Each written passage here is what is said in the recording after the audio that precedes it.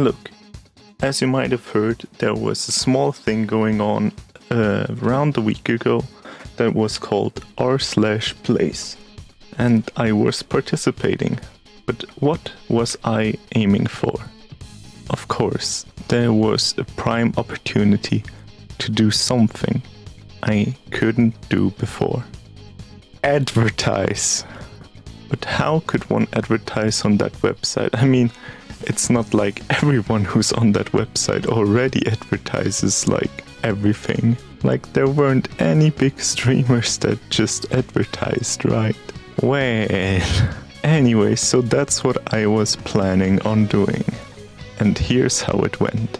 Okay, so first off, I knew one thing. I am one person and that's not a lot. So I needed to see what I could do on my own and actually try to work towards that goal.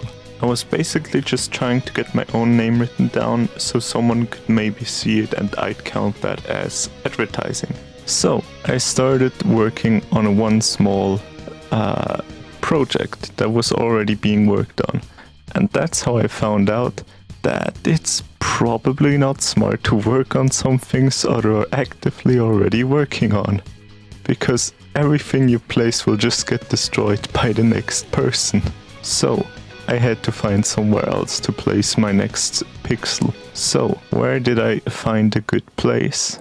Well, that's where you come to the theory of this whole thing, and that is that you have to find a place which isn't always changing, and to a place that also doesn't look all the same all the way through, so you can actually place something without anyone being able to see it at a glance. That there is something off. Like, for example, if I placed something in the middle of, I don't know, a country flag, then they would just kind of get rid of it as soon as they see it, which happened.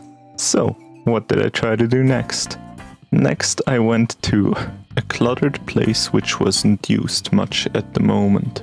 So, I saw this box of Yorkshire tea from the Spiffing Brit and said, yeah, sure, this, this will work, right? But no, because there's another aspect to this.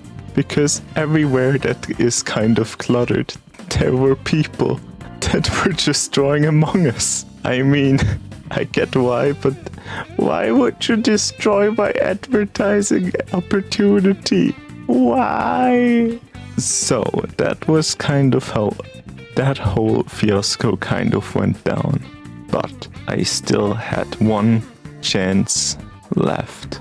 I could try it at another place where it's cluttered maybe and where there was somewhat of a change and try to uh, get together with the people there to write the, my name to advertise. But the problem was they all either noticed that there are too many same colored blobs or they noticed that someone was writing something, which is probably why everything also there got deleted. So in the end, I just kind of started fucking with the French flag, honestly.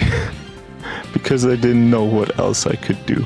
And it was all looking kind of pointless at this point. But here's where my next great idea came.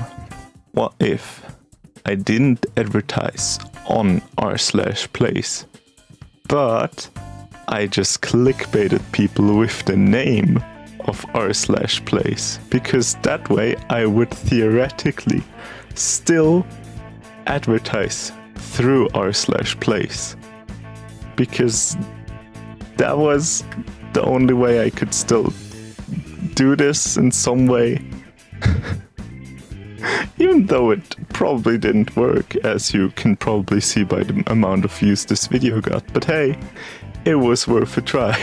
So, to finish this advertising completely, please follow all of my social medias such as YouTube, Twitch, Twitter, and I think that's honestly it. I hope you all have a great day and goodbye.